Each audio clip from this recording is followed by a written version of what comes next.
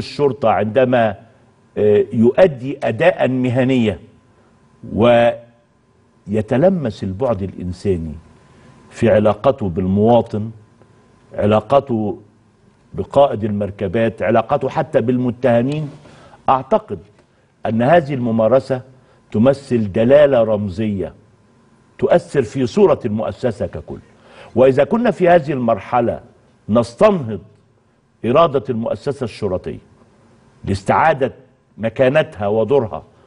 في هذا المجتمع رغم التضحيات الكبيرة التي قاموا بها في الشهور الأخيرة تحديدا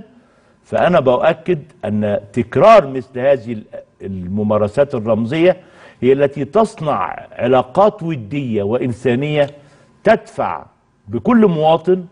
أن يكون مسلكه دفاعي وإنساني بالمثل مع أبناء المؤسسة الشرطية وب- ويعني وبمناسبة الحديث طبعا بنتوجه آه، لوزارة الداخلية ولكل أفراد الشرطة بالتهنئة بنسبة عيد الشرطة لأن طبعا حضرتك عارف إن النهاردة عيد الشرطة آه، اللي بيوافق آه، الذكرى آه، الرابعة لثورة 25 يناير. مفيش شك إنه كان أحد دوافع ثورة 25 ينا- يناير إن التظاهرات التي بدأت في في النهاية كان بداية